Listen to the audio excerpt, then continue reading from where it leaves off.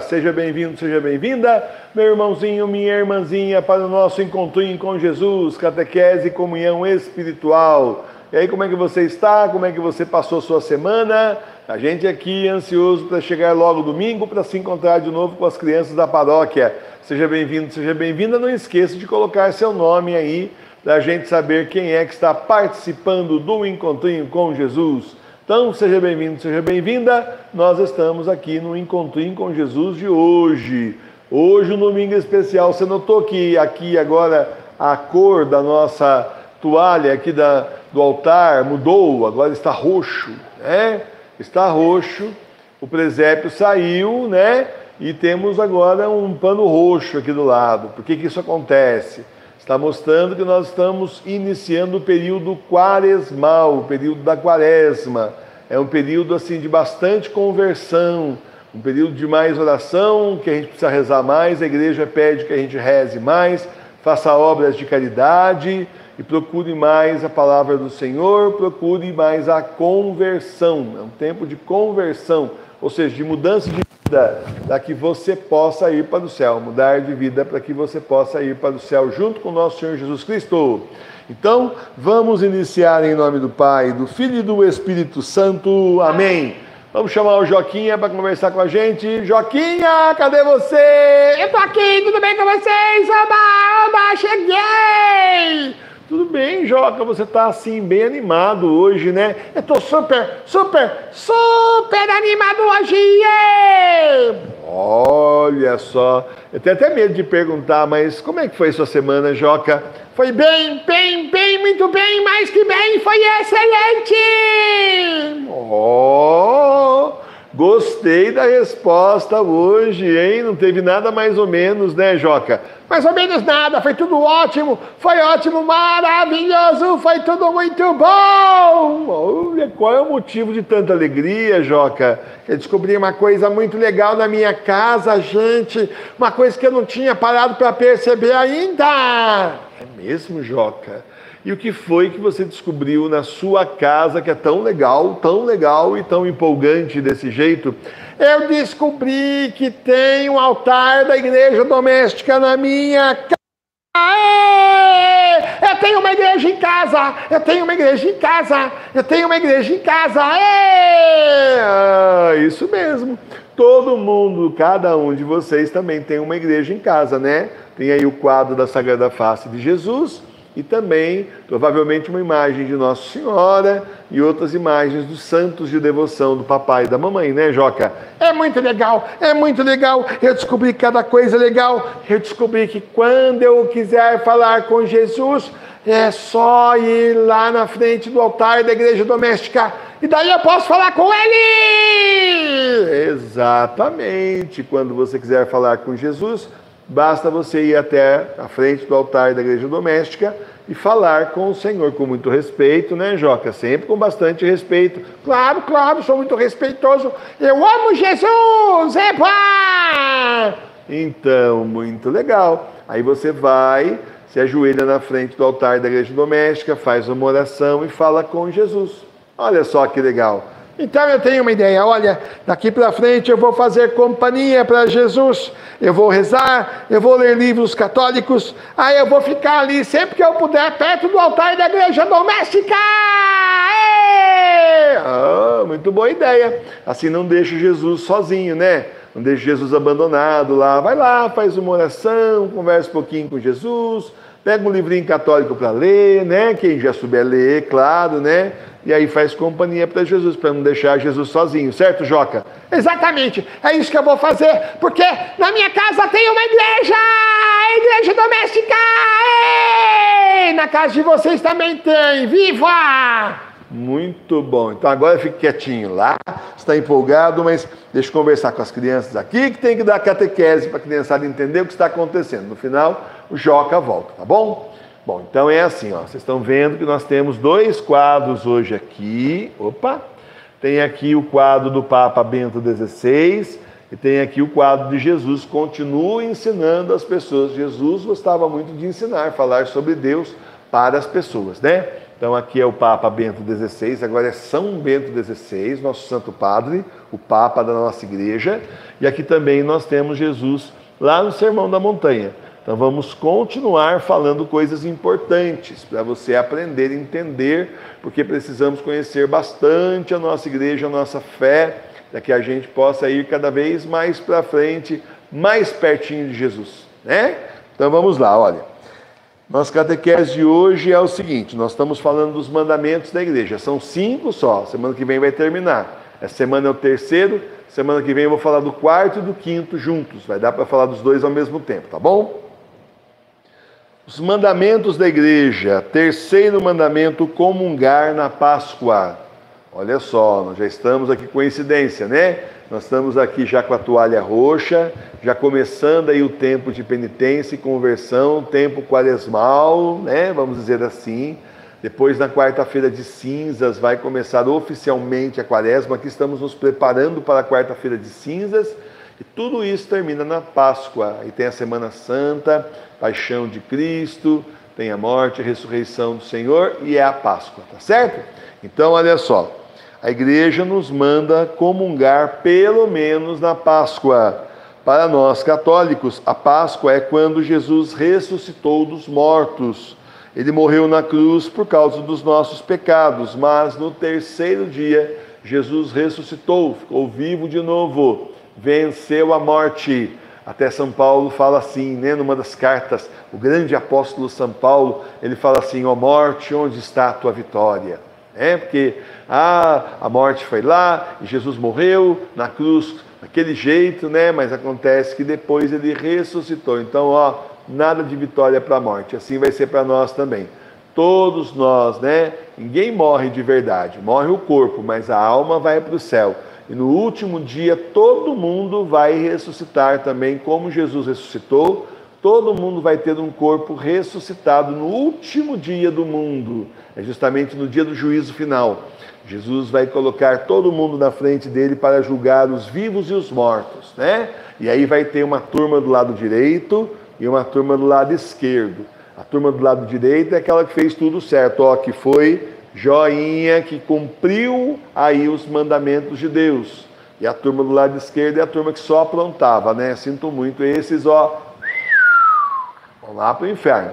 E aqueles que estão do lado direito vão para o céu junto com Jesus. Tenho certeza que você, nesse caminho que você está, você vai para o céu, hein? Então, olha, cuidado, cuidado para você continuar nesse caminho certo que você já está, de obedecer ao papai, a mamãe, participar do que encontro com Jesus, não mentir, não prejudicar as pessoas, né? Cuidado para você não sair do caminho certo, né? Ouça seu anjo da guarda, começa a doer a consciência. Você faz um negócio errado ou vai fazer uma coisa errada, parece que tem uma coisa esquisita. É o anjo da guarda falando para você: Pichão, pichão, você errou, ó. Você errou, não faça isso não. Vai lá para seu pai, vai lá para sua mãe e fala que você errou. Aproveita e fala o que você fez de errado, papai e mamãe. Tem que assumir o erro.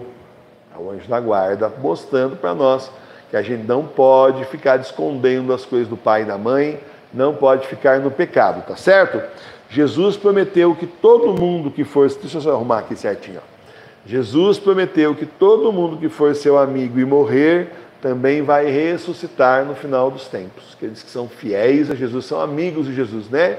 Obedecem o que Jesus mandou, seguem os mandamentos, vão ressuscitar e vão para o céu. Por isso que a Páscoa é tão importante para nós católicos, porque nos lembra que Jesus ressuscitou e que todos nós também vamos ressuscitar, tá certo? Também por isso que o domingo é um dia muito, muito, muito, muito importante. Nós devemos guardar o dia de domingo, porque foi o dia que Jesus ressuscitou. Então, domingo não é dia de trabalhar. É fazer as coisas da casa, assim, tudo, mas não é dia de trabalhar para ganhar dinheiro. A não sei quando o papai e a mamãe não tem jeito, Aí não tem como, é obrigado a trabalhar naquele dia, pede perdão a Deus e vai trabalhar, porque a família precisa, né?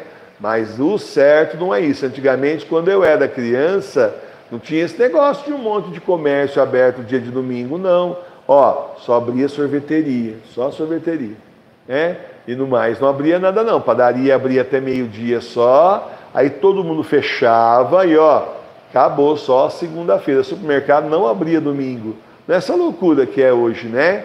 Não, todo mundo fazia e ó, dava certo. Todo mundo fazia compra ali até sábado e dava certo. Aí começaram a abrir domingo também, mas domingo é dia do Senhor, tem que respeitar. Então, às vezes, o papai, a mamãe, não tem jeito para cuidar de você, precisa trabalhar, né? E aí então o chefe manda, ó, domingo nós vamos abrir, você tem que estar aí. E eles precisam do dinheiro para poder pagar as contas, daí eles vão trabalhar. Mas se puder arrumar um emprego que não precise trabalhar domingo, melhor, porque domingo é dia do Senhor, domingo é dia da família, se reunir, almoçar gostoso, né? Falar das coisas de Deus, ouvir a palavra de Deus, rezar, vir para o encontro com Jesus. Então é esse domingo, é dia do Senhor, é o dia que o Senhor fez para nós. O dia que ele fez para a gente rezar, pensar nas coisas de Deus e estar tá em família, tá bom? É isso aí. Agora, como eu falei, se o papai e a mamãe trabalham duro aí para cuidar da família, né? Tem que trabalhar fora, aí a gente reza para eles, ó. Reza para eles arrumarem outro emprego, que eles possam não ter que trabalhar domingo para ficar em casa. Tá bom? Vamos rezar, pedir a Nossa Senhora para que ela ajude o papai e a mamãe a arrumar um emprego que não precise trabalhar domingo, para ser assim o dia do Senhor e o dia da família, tá bom?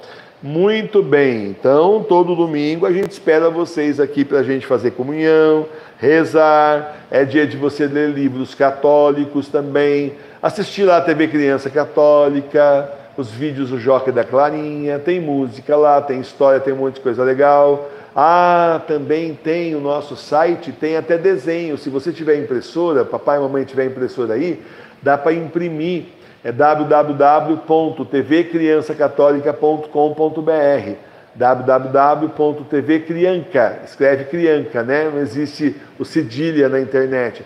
Aí é tvcrianca católica arroba, arroba nada, .com.br www.tvcriancacatólica.com.br Você começar a olhar lá nos arquivos do blog, você vai ver que tem até para você imprimir lá desenhos muito legais, tá certo? Você pode imprimir, daí tem desenho que é para pintar, tem jogo dos sete erros, tem lá, inclusive até quebra-cabeça, dá uma procurada lá, dá uma andada lá que você vai ver um monte de coisa legal. Mas não vai querer imprimir tudo de uma vez, né? Um desenho por domingo, né? Vai querer imprimir tudo de uma vez, que daí, ó, daqui a pouco nem consegue pintar mais, cansei o braço. Então, um desenho por domingo para fazer um dia bem legal para o Senhor, tá bom? Muito bem. E agora nós vamos então para a segunda história Agora nós vamos para Jesus. Já falamos dos mandamentos da igreja, o nosso papo aqui é. Agora vamos então para Jesus. História de Jesus. Nós estamos estudando o Pai Nosso. O Pai Nosso é aquela oração linda que todo mundo reza, né? É difícil quem não sabe rezar o Pai Nosso. Todo católico sabe, né? Diz que é a oração mais rezada do mundo inteiro, o Pai Nosso. Foi Jesus que ensinou. E hoje nós vamos entender essa frase aqui, ó. Seja feita a vossa vontade, assim na terra como no céu. A gente reza essa frase, não reza? Seja feita a vossa vontade, assim na terra como no céu. Tem gente que nem o Joca, falar que assim o Joca, certo?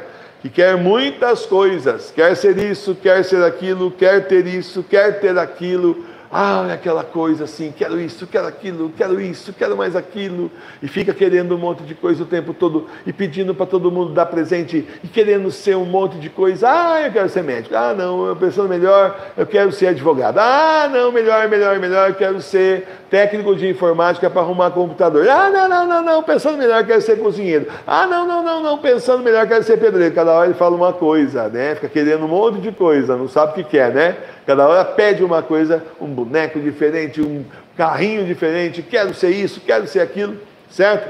O Joque é assim, cheio de vontade na vida. Eu sei que tem gente aí, alguns de vocês que são assim também, não são? Fala a verdade. Fala a verdade, Miguelzinho. Ah, fala a verdade, Alana. Pois é. Então, essa turminha que está assistindo a gente sempre aí, fala a verdade. O Joque é assim, gente, mas nós que somos católicos, nós temos que fazer a vontade de Deus na nossa vida. Não é tanto a nossa vontade, é a vontade de Deus. O que funciona para a nossa vida é a vontade de Deus. Se você fizer a vontade de Deus, você vai ser feliz. Se você quiser fazer a sua vontade, as coisas que você quer, não vai dar certo. Tem que ser a vontade de Deus para a sua vida, porque foi Deus que te criou. Ele quer ter o Pai que está no céu, né? Como é que você quer decidir as coisas sozinho? Não, não. Sempre pedir a Deus, pedir ao Senhor, rezar bastante, pedir, ô oh, Papai do céu, mostra para mim, Senhor, o que o Senhor quer para a minha vida, o que o Senhor quer que eu faça. O Senhor vai mostrando aos poucos, né? Também não é tudo de uma hora só, né? Karma, karma, karma, karma. O Senhor vai ensinando você, mostrando aos poucos o que Ele quer da sua vida, tá certo? Olha só, o que vale mesmo é a vontade de Deus, o que Ele quer para nós. Você sabia que Deus tem um propósito para ter criado você? É, Deus tem uma ideia, Deus tem um motivo para ter criado você. Ou esse daqui eu vou criar para ser tal coisa e fazer tal coisa. É assim. Deus criou cada um de nós, aí Ele nos dá dons, né? Para que a gente possa fazer as coisas que Ele quer que a gente faça. Olha que beleza. O Senhor até já nos deu os dons e até já determinou, olha, esse daqui vai ser, o Emílio, Emílio vai ser professor, vai ser professor de matemática. E tem criança que não gosta de matemática aí, ah, não acredito, tão legal essa matéria, ó, matemática é legal. É legal quando você entende, é legal, viu? É, presta atenção lá e pergunta para a professora, professor, não estou entendendo. O professor Emílio falou que é legal matemática, mas eu não estou entendendo. Aí a professora, às vezes você não, não pergunta, você não faz pergunta, a professora não pode explicar, porque você não está perguntando. Aí você faz pergunta, ela explica de novo para você entender. Aí papai do céu falou assim, Emílio, esse aqui vai ser professor de matemática, vai ser pai da Madre Sofia, e também no futuro ele vai ser lá o pároco da paróquia Sagrada Face de Tours, e também ele vai dar catequese para as crianças todo domingo, 11 horas da manhã. Ah, é por isso que eu estou aqui, cumprindo a vontade de Deus na minha vida, fazendo para vocês a catequese todo domingo, 11 horas da manhã, né? Encontrinho com Jesus, catequese e comunhão espiritual. Para você, o Senhor também tem um plano para a sua vida. Ah, esse daqui vai ser isso, vai ser aquilo e vai fazer tal coisa. É isso que eu quero que ele faça, da melhor honra e glória de Deus. Ah, essa daqui, essa daqui, vai fazer assim, assim, assado. Tem gente que o Senhor chama para ser freira, para ser frei, religioso, religiosa. Tem gente que Deus chama para ser casado, ter filhos, né?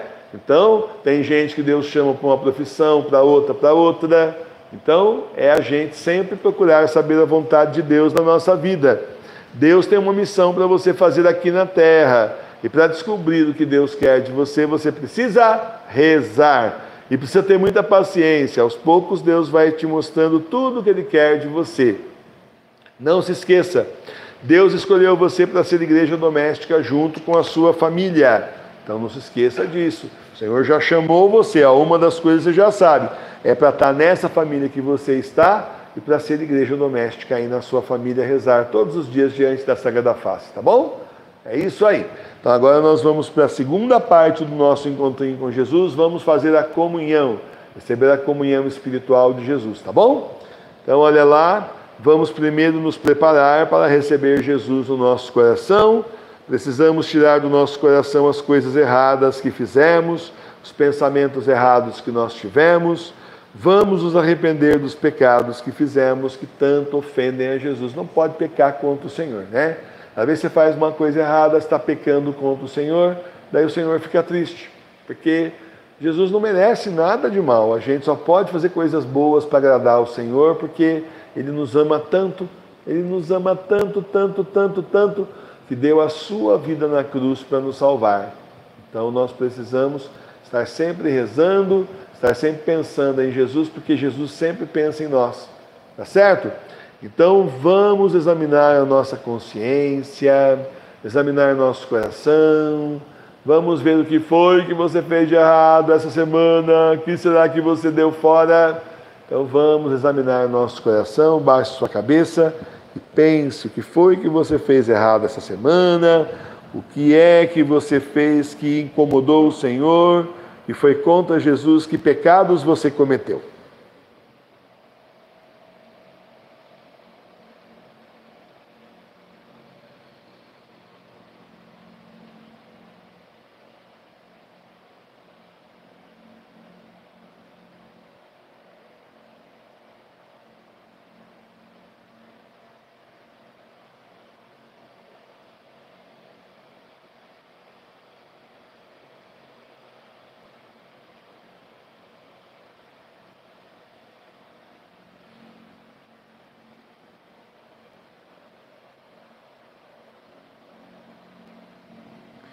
Então agora nós vamos rezar. Eu rezo e vocês repetem, tá bom? Assim, olha. Senhor Jesus, Senhor Jesus, eu me arrependo eu me arrependo de ter pecado de ter pecado e vos peço perdão. e vos peço perdão. Com a vossa ajuda, a vossa ajuda, prometo prometo que vou procurar que vou procurar não pecar de novo. não pecar de novo. Amém. E agora então chegou o momento da nossa comunhão espiritual, chegou o momento de receber Jesus no nosso coração.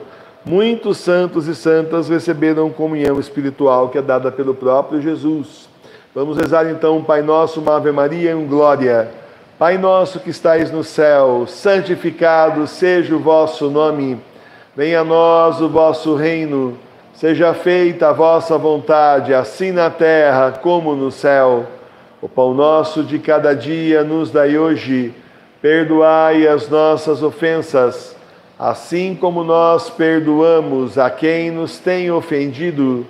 E não nos deixeis cair em tentação, mas livrai-nos do mal. Amém. Ave Maria, cheia de graça, o Senhor é convosco. Bendita sois vós entre as mulheres. Bendito é o fruto do vosso ventre, Jesus. Santa Maria, Mãe de Deus, rogai por nós, pecadores, agora e na hora de nossa morte. Amém. Glória ao Pai, ao Filho e ao Espírito Santo. Agora junte as duas mãos, agora junte as mãos, feche os olhos e reze comigo. Eu rezo, vocês repetem. Senhor Jesus, Senhor Jesus, venha ao meu coração. Eu vos amo, Jesus, e quero estar Quero estar sempre perto do Senhor. sempre perto do Senhor. Amém. Baixe sua cabeça, receba o Senhor no seu coração, fique em silêncio e fale com Jesus.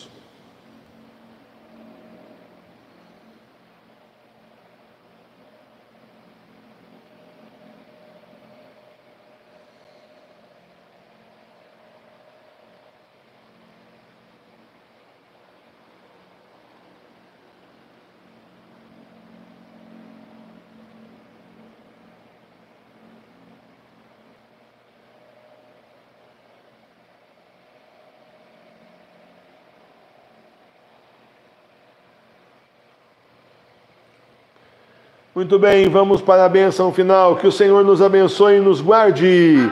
Que Ele volte sua face para nós e se compadeça de nós. Que Ele lance sobre nós a sua santa bênção. Por intercessão de Nossa Senhora de Fátima, abençoe-nos o Deus Todo-Poderoso, Pai, Filho e Espírito Santo. Glorifiquemos o Senhor com nossas vidas, fiquemos em paz e que o Senhor esteja sempre conosco. Amém. E agora vamos ver quem esteve conosco hoje no Encontrinho com Jesus, quem colocou o nome aí. Tem gente que é tímido, não coloca o nome. Tem o Miguel Henri, tem a Cristina, o Davi e o Pedro, tem o Rafael, o André e Bernardo presentes, o a Alana e o Miguel participando, a Renata, também temos a Júlia presente, o Mizeni, também temos a Maria do Socorro Costa, o Vanilson Costa, a Iraneide, Isabela Giovanni Caroline, a Isabel, a Flávia Fernandes e a Alice, e também a Iraneide. Olha só que beleza, quanta gente no Encontrinho com Jesus. Não esqueçam, durante a semana, lá nós temos o nosso canal no YouTube, TV Criança Católica. Entra lá para você assistir um montão, montão, montão de vídeos legais e também no nosso site www.tvcriancacatólica.com.br. Lá também tem um monte de atividades para vocês, um monte de desenho, imprime, pinta, jogo de sete erros, é, complete, ligue os pontos, quebra-cabeça, um monte de coisa legal, tá bom? Tudo ligado à Bíblia. Agora, tudo ligado ao Evangelho. Agora vamos chamar o Joca para se despedir. Hoje ele está tão feliz, né? Que legal que hoje não teve reclamação nenhuma. E vamos falar com o Joquinha para dar um tchauzão para vocês. Espero vocês semana que vem, então, domingo às 11 horas da manhã no Encontrinho com Jesus, tá bom? Tá bom, eu vou vir, eu vou participar, eu não falto, sabe? Todo domingo eu venho, que é muito legal. Então tô esperando vocês também, ó. Tchau pra vocês, tchau, tchau, até domingo que vem! Tchau, tchau, tchau. Tá bom, Joca, acho que já foi, já não foi já.